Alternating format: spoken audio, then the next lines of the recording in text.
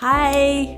So isn't hair so important to us women? Unfortunately, menopause usually thins our hair out and I have to say, I have a lot of hair, so when my hair started thinning out, the place I mostly saw it was right up here. I really felt like I was receding.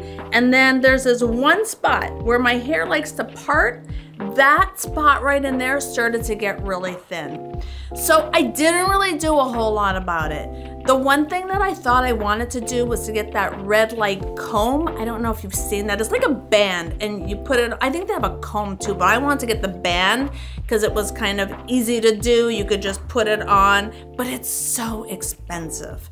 And I do have some red light uh, devices. So I would like stick those on like the problem areas on my head. But I didn't see a difference. I don't know if it's a different kind of red light that they put in those head things or it's just a different, you know, with the combs it gets more into your scalp. I didn't see enough of a difference to make me want to make that dive in to spend all that money. And then the other thing I was really contemplating was extensions. I just really, back here, I was like, if I could just get just some extensions back here. But anything that I really research on extensions, it's damaging to the hair and I just didn't want to mess with. I'm like, just, it's good enough. It's not that bad. Let's just leave it alone. And that's what I did. I didn't do anything. So last summer, I got COVID and I hadn't put the connection together with hair loss and COVID. But what happened to me after the back, like, I don't know if I can show you, but this whole back layer back here broke right off. The, I mean, it was a stubble. And when that happened, I mean, panic. Like, immediately I went into panic mode. Then somebody told me that they had their hair broken off right in the back too. And it's like, that's a weird coincidence. She was saying it was because of COVID. And then I'm like, well, I did have COVID not that long ago. So I'm thinking that's what it was. I don't know. But I definitely, after that, started seeing my hair coming out.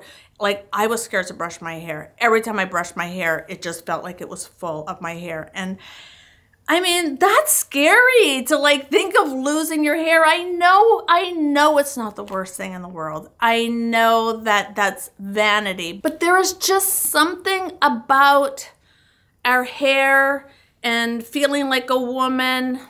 Immediately, I started to take action. so, the first thing I did was, like I always do, what can I consume to help? Because I'm a big believer in our diet really helps to fix all problems. I got some collagen peptides to drink. Um, I found this one at Costco. It has like three ingredients.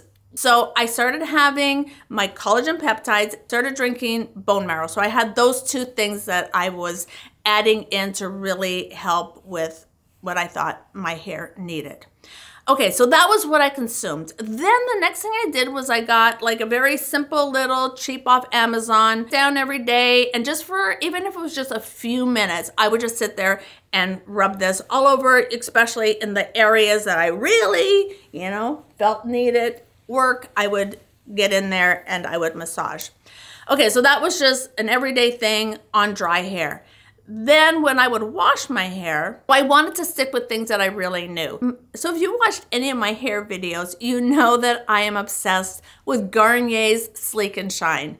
And when I say I put it in, I load it on. It may not be expensive, but I go through this stuff. So I load it on, I massage it in from the roots, and I pull it through to the ends. So after I rinse that out, I go to my next tried and true, and it's the Biolage a Hydrasource, I think it's called. And then I wrap it in a towel and then I go about doing a few things. I'll wash my face or, you know, maybe fold some laundry. Just something to let it stay on for, you know, maybe five or 10 minutes.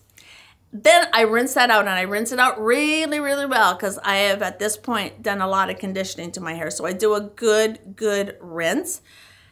The other thing that I do, and this is on special occasion, the BB thickening plumping mask. So they say that this volumizing in shower treatment expands each hair strand, each hair strand. That's what caught my attention for full on all day volume.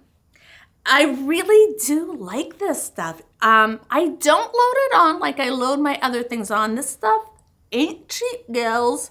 Uh, I want to say it's somewhere around $45. And then as a leave-on conditioning oil, I go to my another tried and true, uh, my Moroccan oil. And I just, I don't load it on. I try not to because I am extra and I do tend to go overboard on these things. But if I do too much, my hair will look greasy. Then the other thing I was being careful about was um, blow drying my hair. I stopped. I didn't blow dry my hair. I was not using hot tools on my hair. Then I did actually get the Dyson Airwrap and it has changed my life, girls. I use that every time I blow dry my hair now and it has not done any damage to my hair at all. And then the last thing that I changed was how often I went to the hairdresser. I was going every six weeks. I have dark hair, but for whatever reason, I want to be blonde. So I was going every six weeks and getting the highlights done. So that's like super damaging. I'm bleaching my hair. If you're doing an all over color, like that's not as bad, but bleaching, like that's hard on your hair. But let me show you like how my hair grew back. So imagine it was stubbles and you know, that's where, you know, like six months later, it has really grown back. So that's all I got. And um, so glad to have you hanging out with me. If you haven't subscribed, don't forget to subscribe because we've got the coolest old lady gang in town. All over, every town. so thanks for being with me today. Talk to you later.